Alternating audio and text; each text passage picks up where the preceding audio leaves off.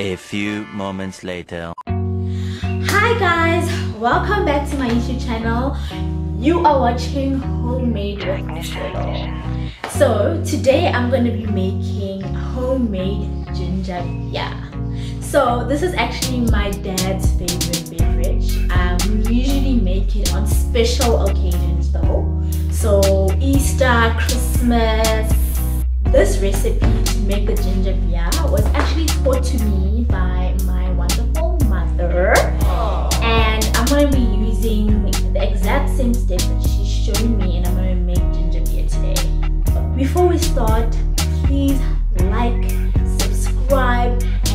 comment below if you